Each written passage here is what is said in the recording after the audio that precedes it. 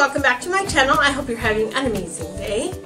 So this is like what I did in Chicago. I wanted to first share um, that this was for work. I didn't have that much time. Did go with a colleague and she actually explored a little more than I did because I was ill. I'm still suffering with a little bit of a, I don't know if you can hear it in my throat, but I wore my mask. and um, you know, be safe than sorry. And so I figured with all this stuff going around everywhere, it was better to, um, since I was already feeling a little bit of sore throat, to make sure that I stayed safe and did not catch anything else. And I'm actually feeling a lot better, but still I got this little scratchy cough.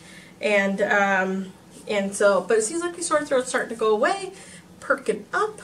And uh, usually by the end, towards the end of the day, if I've talked a lot, then I notice it would come back. So I'm hoping like after you film that I will not talk anymore. so, alright, first I'm just going to show you really quick some of the things I picked up before I go into the things that I uh, did. Alright, so I want to show you so some a few of the famous places to kind of go, um, like foodie things. Is one of the things is this get Garrett popcorn.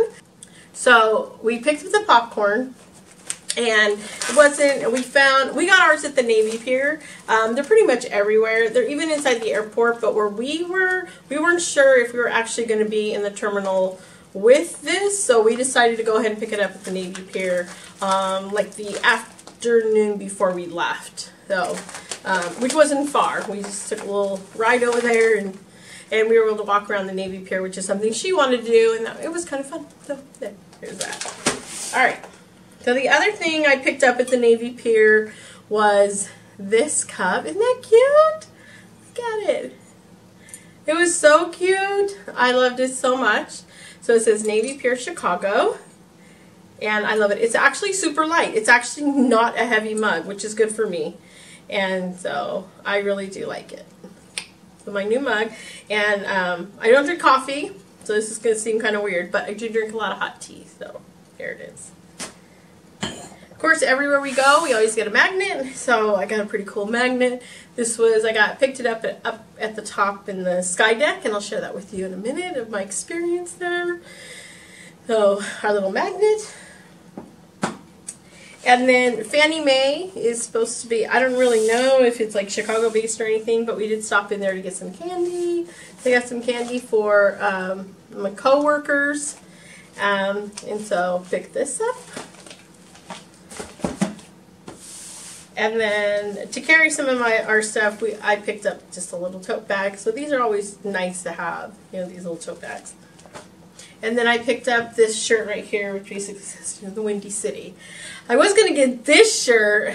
it says, I'm taller than you, which would actually been really funny because the day we left, the all-star basketball players were coming into town.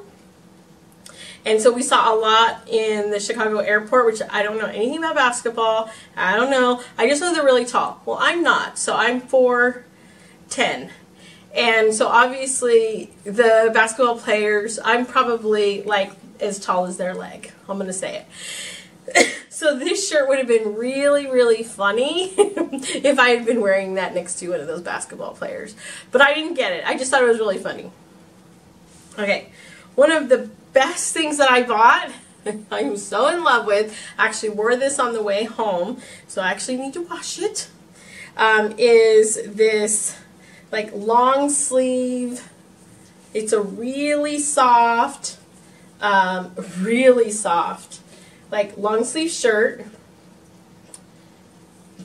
And it says sail away on the back. Isn't that so cool? So I fell in love with this shirt and I was like, should I buy it? Should I buy it? Should I buy it? And bought it. So yeah. Probably shouldn't spend too much money on stuff like this, but I'm like, this is like the perfect shirt. Especially very cold nights. And if you saw my cold packing video, this would be the new item that goes in it. Okay, so I wanted to touch on kind of the food places first that we went to. And all were really pretty good. Uh, we had a lot of suggestions, and I guess it's it's really good to reach out to kind of local Chicago Chicagoans, Chicago people, people in Chicago, and to get this information. And so I was really lucky to be able to reach out to some people and get some tips on where to go and stuff. So one of the places that we went so first was Lou Malnati's, which is suggested to us, and um, we went and got the Chicago deep dish and we you can get a personal size one which is really nice so we could we get our own and put our own whatever on it. So what was recommended by the staff was she recommended putting getting the butter crust. Well i'm i think what happened is i'm kind of not used to that and it's not like being open to something different it's like to me it just didn't it just didn't taste right it just I don't know what it was. It just it seemed off to me. So while the sauce was good and the the bottom crust was good, you know, but the top you could tell it had like some uh, oils on it and so I didn't care for that. So that is the one thing. So I probably should have got it without that and should have just kind of gone like just a regular crust. And I probably would have cared for it better or liked it better. But um, so that was the one thing that I just felt like threw me off just slightly. So I didn't get that. Um, or I didn't really like that as much as another one that I'll talk to you about. So, so the next place we went, uh, after that, that night, we actually stopped at this little place called Fire Cakes. And um, so really great little like bakery hole in the wall plate, like literally a hole in the wall. I think only three maybe three customers could fit in there at one time. And it's really like a unique little shop. They have these little tiny, uh, like filled peanut butter donuts. Well, other ones too you can see here. But really, really small. And I think those are kind of perfect um, in this day and age of filling up with crap, which I tend to do. That was like, those are like the perfect little size to me sweet donut. It's the perfect size. Okay, so I ended up going back on the the night before we left, and we I, I picked up some to bring home. So anyway, I had one this morning. So not good for the wellness, but yeah, ate it. So then um, also, so I think that night that was it. Then we, um, the next day we had like half a day. And we decided to go explore a little bit. And so we went to Millennium Park and we walked around and we went to grab, um, my friend doesn't really eat breakfast. I actually do eat breakfast, but I kind of forego it. She found a little uh, bakery kind of coffee shop with different types of things in it. So we, I don't know what this trip was about. To me, you're going to hear about donuts. So it was, a, I got a donut there. It looked different. And um, if you don't know, I used to work at a donut shop many, many, many, many, many moons ago, 30 years ago. And uh, so I, uh, some, I'm really picky with donuts. So I had this really great buttermilk bar. And I don't, haven't had a buttermilk bar in like I, actually don't even know how long. But it was actually really, really good. It's very tasty and fluffy. It wasn't as heavy as some buttermilk donuts can be. So I really did like that. And then we decided um, we were going to go check out a couple of places, and then uh, it was going to get close to lunch. I think it was about 11 o'clock, and we really had only had a donut. So then we walked pretty far and it started to snow and we got to Portillo's which was another one that was very recommended for their Chicago dogs. And we embraced it and we ordered the Chicago dog. I also got the bowl of chili and some fries. And so you see that here. And it was really, really good.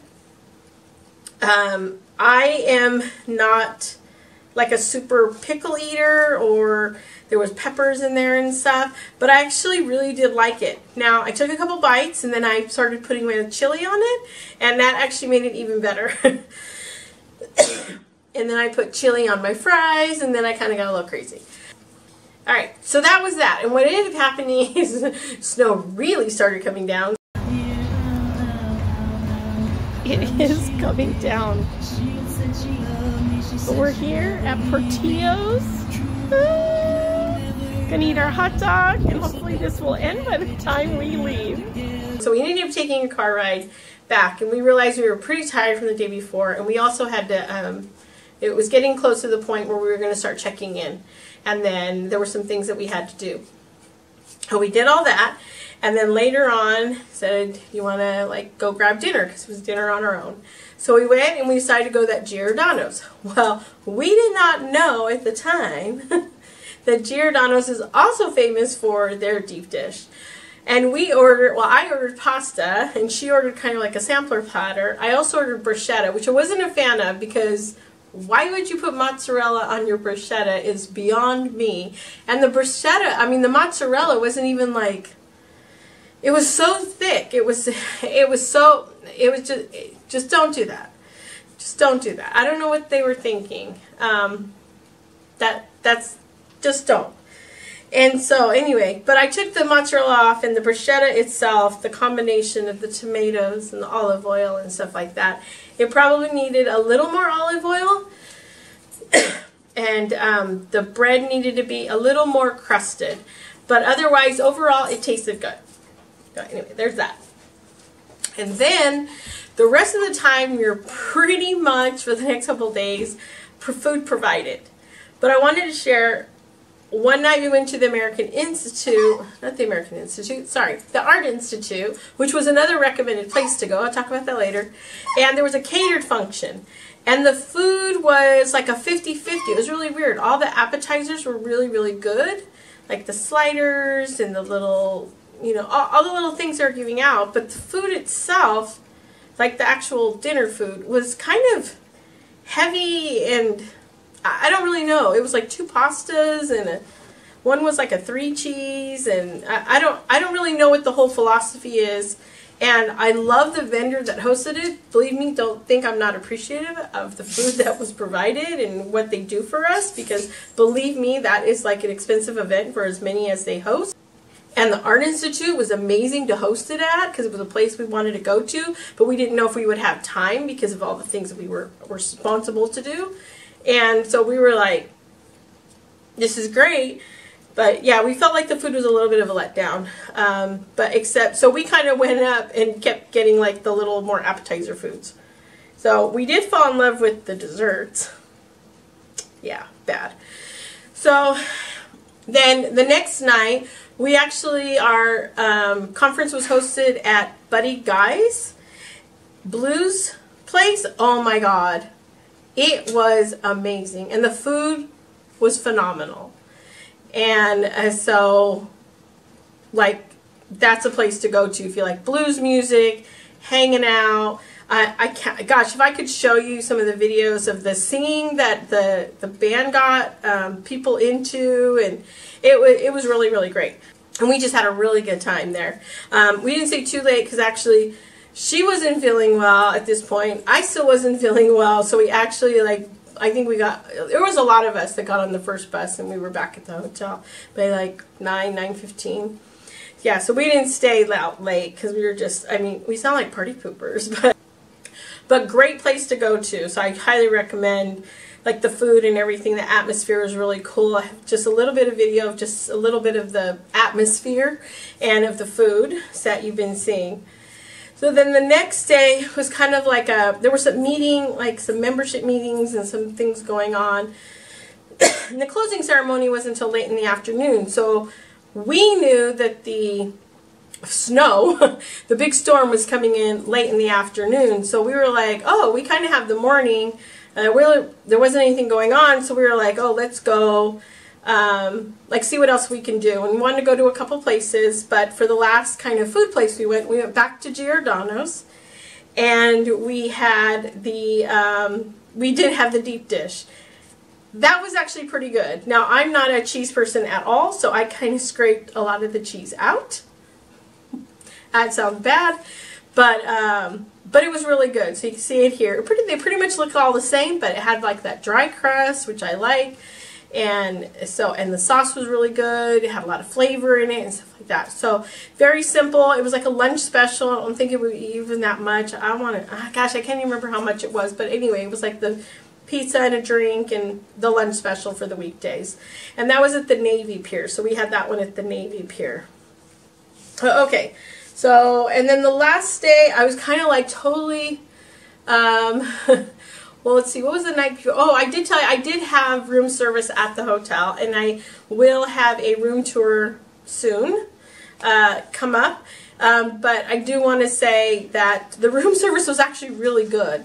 Um, so it was, well, the, so that night, so after lunch, that night I had room service. So I had a kids fish and chips and some tomato um, soup and water. That's it. And that's all you freaking need. It the I get the kids meals in if I do a room service because they're smaller portions and I tend not to eat those big adult portions. So it's better for me not to feel like I'm like wasting money, especially because this is work. And so I just get the small stuff. So I figured like a little little fish and chips and and it's still to me, it was like a adult portion. It was crazy. Um, so you can see that here. But they delivered it really nice, and so anyway, hotel review later. all right, and then the next morning, like I said, I'm all fooded out by this point. I'm like so over, like done. Although we were walking an average of about, I think almost more than 10,000 steps a day. So that's what my averaged out for the week. And so we did do pretty good with that. But the next morning, I just did a veggie scramble, and I think I ate like half a piece of toast, or maybe the piece of toast, I can't remember, and my fruit, and like maybe a half of that omelet, or scramble, or whatever it was. And, yeah, it was a veggie scramble, veggie omelet, oh my gosh. And so it was really good, but it was like, I was pretty much like um, fooded out by this point. But this was travel day, and I ended up not eat. That was the only meal I had all day, and I got home about 9 o'clock at night, California time, which would have been like 9, 10, 11, 12, 12 o'clock, no, 11 o'clock Chicago time. So I was like, I didn't eat, I was just so, I was a hangry woman when I got home. Let me tell you, I was a hangry woman. T-shirt. All right. If you have any things that maybe I should have done in Chicago, leave a comment below so other people can read it about some suggestions, places to go, food to eat, things to see, what to do uh, in the comment section below.